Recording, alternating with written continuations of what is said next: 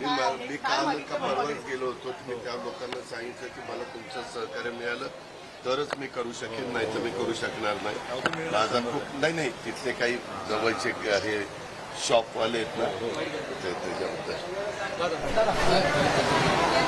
पहिली प्रतिक्रिया म्हणजे या देशामध्ये महाराष्ट्रामध्ये लोकसभेच्या निवडणुका चालू आहेत. त्या अतिशय चांगल्या वातावरणामध्ये पार पाडल्या जाव्यात पार पडाव्यात.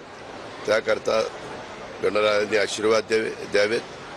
आणि साहजिकच जो उमेदवार असतो जो पक्ष असतो आम्हाला वाटतं की बाबा या देशाचं तिसऱ्यांदा पंतप्रधान पदावर नरेंद्र मोदी बसत असताना महाराष्ट्राचा मोठा त्याच्यामध्ये सहभाग राहिला पाहिजे. महाराष्ट्रातनं मोठ्या प्रमाणात महायुतीचे उमेदवार लोकसभेला निवडून जावेत अशा प्रकारचे प्रार्थना देवाला केली. अर्थात हे करत असताना शेवटी प्रत्येकाला काम करावंच लागतं प्रचार करावाच लागतो जनतेचा विश्वास संपादन करावा लागतो. जे ते पक्ष जे ते उमेदवार आणि त्यांचे कार्यकर्ते तो विश्वास संपादन करण्याचा प्रयत्न करतील. शेवटी जन जनता जनार्दन सर्वश्रेष्ठ आहे. ते जो निर्णय देतील तो शेवटी सगळ्यांना मान्य करायला नाही नाही नाही. रे बाबा. तू का कुणी तुला सांगितलं शक्ती प्रदर्शन? शक्ती प्रदर्शन वगैरे काही नाही. आम्ही ठरवलेलं आहे की जास्तीत जास्त महायुतीच्या उमेदवारांचे अर्ज भरण्याकरता सीएम आणि दोन्ही डीसीएमनी जायचं. आज हा अर्ज भरल्यानंतर मी आणि डीसीएम सातारलाही जाणार आहे. सातारावरून सांगलीलाही जाणार आहे. उद्याच्याला धाराशिवला जाणार आहे. अशा प्रकारचं एकंदरीत आहे. शक्ती प्रदर्शन वगैरे नाही. जे काही आव्हान केलेलं आहे ज्यांना यायचं असेल त्यांनी त्या ठिकाणी यावं. बोलवणं तर सगळ्यांचं म्हणजे कामच असतं. उमेदवारांना उमेदवाराच्या वतीनं काम करणाऱ्या सहकाऱ्यांचं फॉर्म भरला जाईल आणि त्याच्यानंतर सभा होईल. सभा करून सगळे नेतेगण आपापल्या कार्यक्रमाला जातील.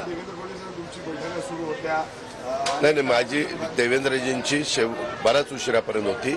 माझी साधारण मी नऊला गेलो आणि दहा साडे झाला तिथं बाहेर पडलो. काय आज भारतीय जनता पक्षाचे प्रमुख म्हणून महाराष्ट्राचे देवेंद्रजीच बरंच काही बघतात. आणि त्याच्यामुळं तिथं काही गोष्टी त्यांना माझ्याशी बोलायच्या होत्या मला त्यांच्याशी बोलायच्या होत्या. त्यामध्ये आम्ही एकत्र जरा काल बसलो होतो. आज पण सकाळी आता येतील ते इथंच आहेत मुक्कामाला. दहा साडेदहा अकराच्या दरम्यान तिथे येतील. दादा इंदापूरचं तुमचं जे वक्तव्य होतं कालचं की काय? खचाखच बटन दावा त्या विरोधक त्याच्यावर एक मिनिट एक एक एक मिनिट. परवा राहुल गांधी काय म्हणाले? काय म्हणाले तुम्ही सांगा. त्याच्यामध्ये आता कुठल्या कुठल्या तरी गोष्टीचा धचा मा करू नये. मी तिथं गमतीनं मी हसत हसत बोलत होतो. तो सगळा क्राऊड हा डॉक्टर मंडळींचा होता वकील मंडळींचा होता. ती काही जाहीर सभा नव्हती. ती मर्यादित लोकांची सुशिक्षित वर्गाची ती सभा होती. वैद्यकीय क्षेत्रातले आणि लॉ क्षेत्र वकील क्षेत्रातले सगळे मान्य. आणि त्याच्यामुळे मी ते शेवटी हो का कोण पक्ष जाहीरनाम्यात सांगतो आम्ही आल्यावर असं करणार आम्ही तसं करणार. जाहीरनाम्यामध्ये पण बरंच काही सगळ्यांनी सांगितलेलं आहे ना. मग काय ते प्रलोभन दाखवलेलं आहे का? आणि त्याच्या संदर्भात उद्याच्याला निधी देत असताना प्रत्येकजण असं म्हणतो विकास कामाला. तुमच्या इथले रस्ते तुमच्या इथली डेव्हलपमेंट त्या कामाला तर निधी देण्याचं कामच आमदार खासदारांचं असतं. लोकप्रतिनिधींचं असतं. त्याच्यामुळं आम्ही सांगायचा प्रयत्न करतो की बाबा ज्यांनी मागं काम केलं त्याच्यापेक्षा जास्त निधी जास्त विकास आम्ही त्या भागाचा करू. हे साधं सरळ गणित आहे. त्याच्यामध्ये वेगळं नाही.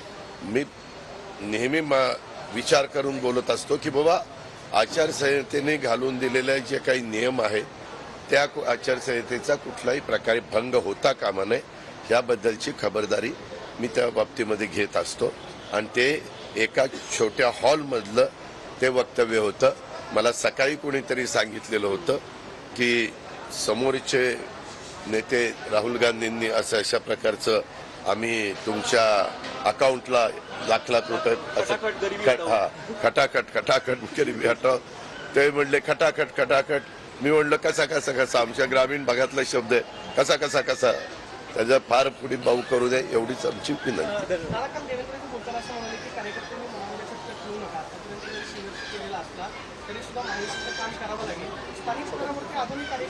अहो त्याकरताच सलोखा करायचंच काम चाललं.